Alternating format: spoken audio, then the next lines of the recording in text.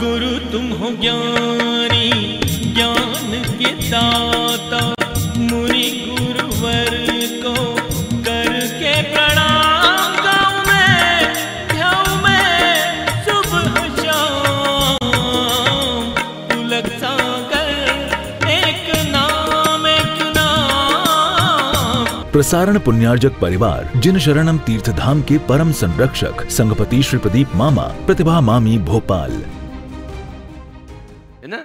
अभी जो है तो दो अनंत को एक प्रेजेंट जोड़ता है, उसको अनंतानंत बोलते। क्लियर हुआ? नहीं आ रहा समझिए क्योंकि फ्यूचर भी अनंत है, और जो बीत गया वर्तमान एक है तो इधर का बीता हुआ अनंत, और होने वाला अनंत, और एक बीच का, कितना हो गया? अनंता अनंता, अनंतानंत किसे कहते हैं? यदि अनंतानंत बोल दिया तो तीनों टेंस आ गए। प्रेजेंट पास्ट फ्यूचर समझ में आ रहा? नहीं आ रहा? क्लियर हो रहा? भूत भविष्यत वर्तमान, जहाँ तीनों जुड़ जाते हैं, उसको अनंतानंत कहते हैं। अब अरिहंत भगवान, कितने हो गए? भविष्य में कितने होंगे? वर्तमान में? अरिहंत भगवान, कहाँ है? वर्तमान में अरिहंत कौन? सीमंदर भगवान। विदेश क्षेत्र में हमेशा मौजूद होते हैं। प्रेजेंट टेंस यदि अपन बोलते हैं, नमो अरिहंताणम, वर्तमान के अरिहंतों को प्रणाम करता हूँ। इतना बोलने मात्र से विदेश क्षेत्र के तीर्थंकर की वंदना हो जाती है। समझ में आ रहा? क्योंकि प्रेजेंट कौन है? सीमंदर सीमंदर स्वामी। युग मंदर युग मंदर ना। ये विदेश क्षेत्र, अब कई लड़कों को समझ नहीं आ रहा होगा कि विदेश क्षेत्र क्या है। ये धीरे धीरे समझ आएगा अभी तो आप ऊपर ऊपर की बात समझो, है ना? तो अरिहंत कितने हैं? यदि आपने बोला अनंतानंत अरिहंत तो कितने टेंस हो गए? कौन कौन से? अनंतानंद सिद्ध परमेष्टि तो कितने हो गए? कौन कौन से? भूत, भविष्यत और यदि आपने बोला अनंतानंद जाप करते ना, ओम रीम अनंतानंद सिद्ध परमेष्टि भ्यो नमो नमः। ओम रीम अनंतानंद सिद्ध परमेष्टि भ्यो नमो नमः। कितने तीर्थ, कितने सिद्धों को नमस्कार हो गया? प्रेजेंट के भी, पास्ट के भी और फ्यूचर के भी। समझ में आ? क्लियर हो गया? तो अरिहंत कितने हैं? सिद्ध कितने हैं? आप कितने हो? आप।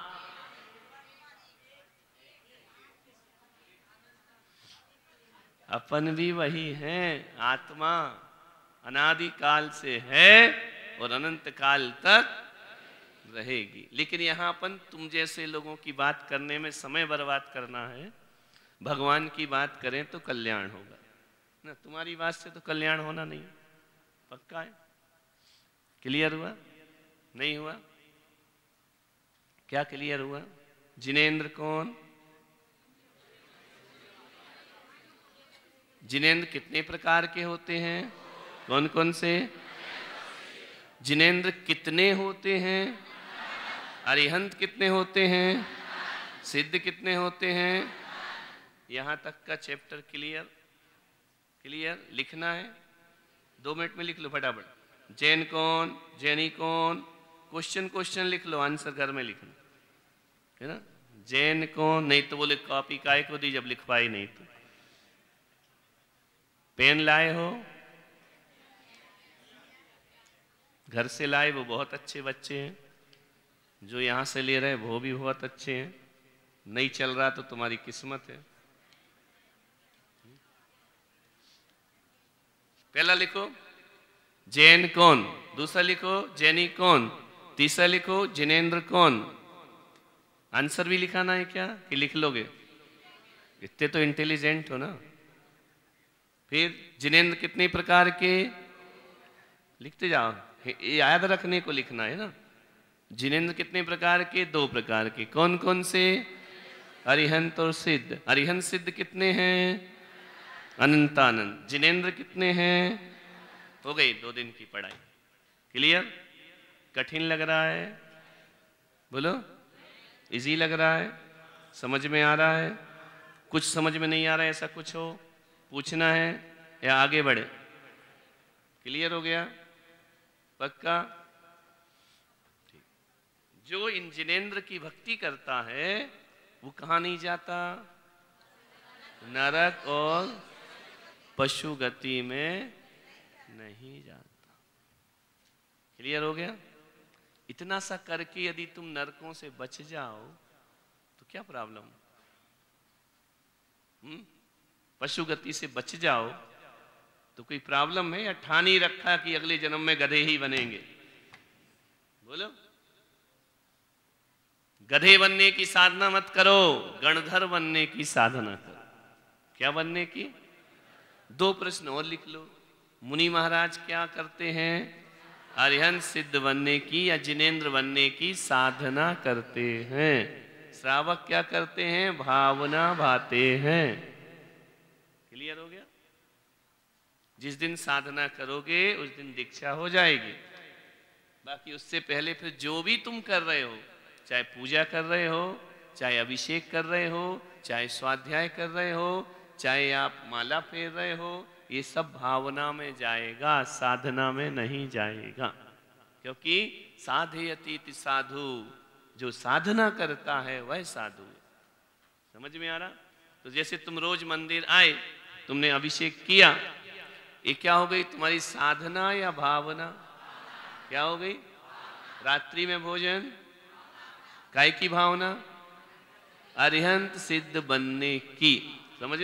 कोई बोले, रात्रि में क्यों छोड़ा? मुझे जिनेन्द्र बनना जैनी बनना है, जैनी से क्या बनना है? जिनेन्द्र। आप जो कुछ भी करेंगे, दस लक्षण के उपास किए, ये साधना है या भावना? ग्रस्त जो भी करेगा, सब भावना है। समझ में आ रहा? वो साधु जो भी करेंगे, वो सब क्या है? एक ग्रस्त और साधु में अंतर समझ में आया कि नहीं आया? हम एक टाइम नहीं, एक टाइम खाते हैं, ये हमारी क्या है? आप पर्यूषण में एक टाइम खाते ही आपकी क्या हो गई? आप ज़िंदगी भर भी एक टाइम खाओ तो भी वह साधना नहीं है। वह क्या है? क्या बनने की? भगवान बनने की, जिनेन्द्र बनने की। तो श्रावक जो भी करेगा, वो सब किस किसमें जाएगा? कौन से खाते में? भावना। समझ में आ रहा? नहीं आ रहा? क्लियर हो रही बात? साधना नहीं, साधना हो गई तुम साधु बन जाओगे। साधना का संबंध किससे है? साधु से। भावना का संबंध किससे है? श्रावक समझ में आ क्लियर हुआ? छोटी छोटी बातें समझ आ रही हैं नहीं आ रही? नहीं तो बोलो, ए, हमको आके छोटे, हम भी तो दस दस दिन उपास करते हैं, हम भी तो सूर्य कारण करते हैं, महाराज तो रोज आहार करते हैं, उनका क्या है? हमने तो एक महीने का उपास किया, तुम हज़ार वर्ष भी उपास कर लो तो भी साधना नहीं है, वह केवल भावना समझ में आ रहा? नहीं आ रहा? और मुनि महाराज रोज आहार भी करें तो वह उनकी क्या है? क्योंकि ये हमारा मूल गुण है, एक टाइम खाना तुम्हारा मूल गुण नहीं है। समझ में आ रहे अंतर समझो, साधु में और ग्रस्त में। तुम असंयमी लोग, जो कुछ भी करेंगे, वो कौन से खाते में जाएँगे? भावना। केसलुंच भी कर लो तो भी वो आपकी कोई तुमको नमोस्त बोलेगा क्या? क्यों? यदि कोई श्रावक बोले, मैं केस लॉन्च कर लेता हूँ तो कल उसको बोलोगे, हे स्वामी, नमोस्तो नमोस्तो, अत्र, बोलोगे क्या? क्यों बेचारा वो बाल तो उखाड़ रहा है? हुँ? तो तुमको बोला जाएगा कि महाराज है तुम एक वर्ष भी उपास करो तो तुम्हारा जब पारणा होगा तो बोलेंगे, हे स्वामी नमोस बोलेंगे क्या?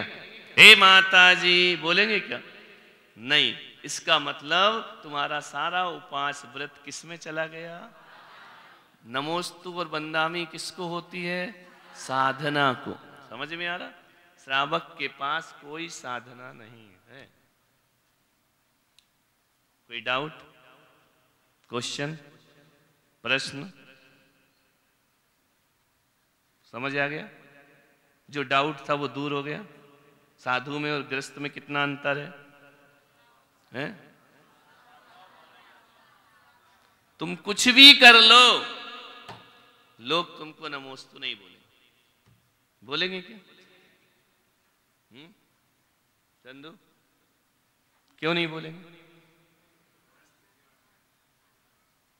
कितना भी तुम आत्मा की बातें कर लो, कितना भी समय सार पढ़ लो, कितने भी शुद्ध आत्मा की अनुभूति कर लो, लोग तुमको नमोस्तु नहीं बोलेंगे। बोल दोगे क्या? अहमदाबाद में शायद बोल देते हो। जो साधना करता है, वह साधु समझ में आ रहा? तो जैसे तुम रोज मंदिर आए, तुमने अभिषेक किया, ये क्या हो गई? तुम्हारी साधना या भावना? क्या हो गई? रात्रि में भोजन? काय की भावना? अरिहंत सिद्ध बनने की। समझ? कोई बोले, रात्रि में क्यों छोड़ा? मुझे जिनेन्द्र बनना। जैनी बनना है, जैनी से क्या बनना है? जिनेन्द्र। आप जो कुछ भी करेंगे, दस लक्षण के उपास किए, ये साधना है या भावना? ग्रस्त जो भी करेगा, सब भावना है। समझ में आ रहा? वो साधु जो भी करेंगे, वो सब क्या है? एक ग्रस्त और साधु में अंतर समझ में आया कि नहीं आया? हम एक टाइम नहीं, एक टाइम खाते हैं, ये हमारी क्या है?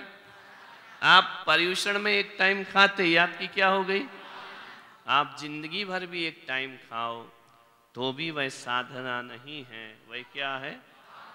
क्या बनने की भगवान बनने की, जिनेन्द्र बनने की तो श्रावक जो भी करेगा, वो सब किस किसमें जाएगा, कौन से खाते में? भावना समझ में आ रहा? नहीं आ रहा? क्लियर हो रही बात? साधना नहीं, साधना हो गई, तुम साधु बन जाओगे। साधना का संबंध किससे है? साधु से। भावना का संबंध किससे है? श्रावक समझ में आ क्लियर हुआ? छोटी छोटी बातें समझ आ रही हैं? कि नहीं आ रहे? नहीं तो बोलो, ए हमको आके छोटे, हम भी तो दस दस दिन उपास करते हैं, हम भी तो सूर्य कारण करते हैं, महाराज तो रोज आहार करते हैं, उनका क्या है? हमने तो एक महीने का उपास किया, तुम हज़ार वर्ष भी उपास कर लो तो भी साधना नहीं है, वह केवल भावना समझ में आ रहा? नहीं आ रहा? और मुनि महाराज रोज आहार भी करें तो वह उनकी क्या है? क्योंकि ये हमारा मूल गुण है, एक टाइम खाना तुम्हारा मूल गुण नहीं है। समझ में आ रहे? अंतर समझो, साधु में और ग्रस्त में। तुम असंयमी लोग, जो कुछ भी करेंगे, वो कौन से खाते में जाएँगे? भावना। केसलुंच भी कर लो तो भी वो आपकी कोई तुमको नमस्त बोलेगा क्या? क्यों?